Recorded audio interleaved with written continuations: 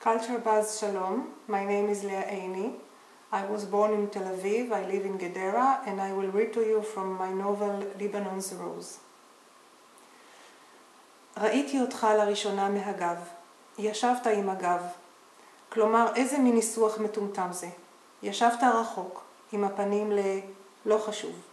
רק שכפוף כל כך ישבת ונוטה חזק לצד. ולבד. כן, כל אולם המבקרים הגדול והשומם הזה, למעט אתה שיושב בו עמוק בתוכו ובקצה, לגמרי בקצה, כאילו מישהו סתם הניח אותך בדיוק שמה או הביא אותך ושכח. שמעת את הפסיעות שלי? האם היו הססניות? אני לא חושבת. אני חושבת שפשוט באתי, קרבתי והתיישבתי גם. ברכיים חלושות. קודם מביטה בך בשקט, לוקחת אותך בעיניי, ואז העיניים הסתורות נעצמות, ואני מביטה במה שממשיך לצרוב מאחורי האפפיים. אחר כך פקחתי אותן, בובה חיה, עיניים פעורות, ובקול צרוד של זהו החייל, הנה כזהו החייל, אמרתי, היי, שלום, אני ורד, ו... ואתה אמרו לי יונתן, נכון שיונתן? שאלתי אותך בטיפשות, שאלות של התחלה, ובטיפשות של התחלה גם הלכה הפתיחה ונסגרה, כי חזרתי כרובוטית. אז שלום יונתן, אני ורד, הנה פה, משמאלך. ובסוף נושמת בדוחק אמרתי, אתה בכלל מצליח לראות אותי ככה? על, על מה אתה מסתכל? קיר שעת חציו מסויד בשמן לימינך וצורת חטא משובשת של משטחי דיקט על רגלי מתכת מכוסים במפות לבנות, מוכתמות לשמאלך. על מעין השולחנות האלה אי סדר של ספלי פלסטיק תכולים, מהמטבח החלבי שבמסדרון. עוד אלמד. אליסה. אליסה המבוהלת שתתה לענה במסיבת התה התכולה, אך דבר לא הראה לה. לא גבעה ולא קטנה, לא רעדה ולא נמלטה. שלמה ובריאה נשארה אליסה. ובכלל, מה הם חושבים לעצמם הרופאים שלך שעטו עליה קודם? היא עשויה מסוכר? השמות הראשונים של החללים הזדחלו אל חדרו הפתוח של מנהל מחלקת שיקום ב' בתל השומר, מן הרדיו שדלק בדלפק האחיות. זאת ודאי הייתה תשובה לפחות ללמה אחד. אך כשניסיתי אותה בגמגום, מיד צויפתי בתשאול חדש.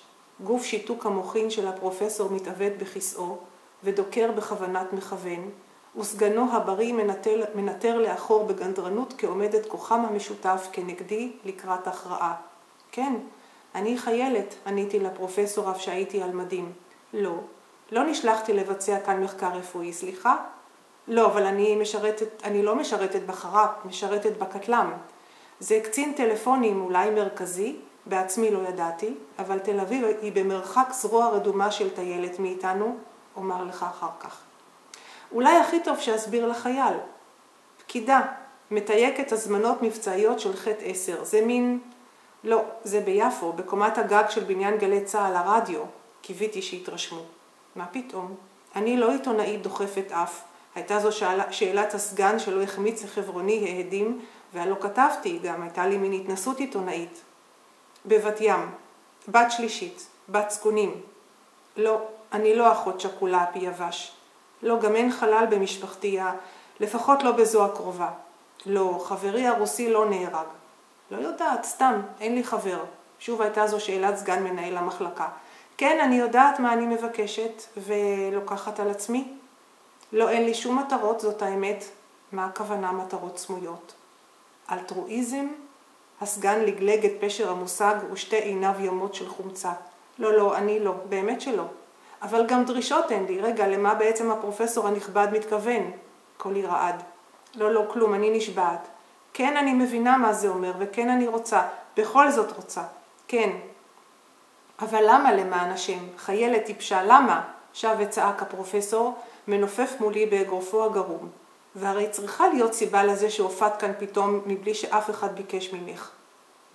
הכתבה הזאת אתמול בטלוויזיה, בטח לא ראית יונתן, בגין עם עיניו המבולבלות, שואל קצין צעיר על אחת מפסגות הבופור, ההליקופטר סחרר באוויר כסביבון גלותי, אם כבר השתמשו חיילינו במכונות ירייה. כשפזיז וחפוף משהו מלמל בצדם שר הביטחון כאילו הוא כאן בחופשת ציד כלילה, כלילה עם פמליה פרטית. בפעם הראשונה ירדתי לסוף כוונתו של אבא, שכל אימת שהמושכים בחוטנו קשרו אותנו בפלונטר חדש, היה אומר בקבלת דין של בוגר ארבעה מחנות ריכוז. אין אמונה בעולם הזה, הכל עבודה בעיניים, וכל פרצופו נאבד דם. ככה שהבוקר הזה, יונתן, הלכו איתי אדם הזה, תמונת החדשות המבהילה, ואיזו בעירה שלא הפסיקה לרחוש בי, אל יחידת הקשר שבה שירתי. צובעים בנקודות אודם חולניות את מלוא פני המרכזייה שלידה ישבתי בתורנות השבועית. אלא שהפעם שלוות השגרה המטומטמת שלה נזקקתי כדי לענות למטלפנים לא עמדה לי.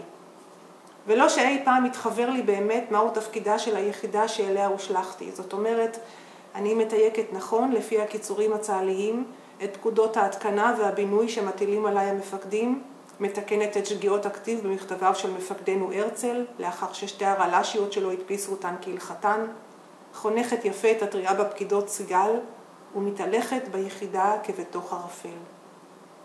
מה כן אני מבינה? חיילת טיפשה. אני מבינה שכאן, ביחידה הצבאית שבקומת הגג של תחנת גלי צה"ל שעל סף התפרקות, טורחים בהתקנת קווי טלפון מטכ"ליים לבסיסים שונים ברחבי הארץ. אם בהזמנות נכנסות מתוקצבות, ואם ביוזמות יוצאות שמשוועות לתקציב. כן, משהו כזה. אהה, בהחלט. אבל מי מותח? איך מותח? מאין ולאן? אין לי מושג. למעט שיש איזה חוט פלאי אחד, חטא עשר, שעושה את כל העבודה, שחותר תחת הלא כלום שבעולמו של אבא. החטא עשר הזה הסתלסל גם מפי הפרופסור שלך, ששנא את היהירות אדון קישוטית לטעמו שהצגתי, כי מתעקש לקשר בין כל הקווים המשובשים.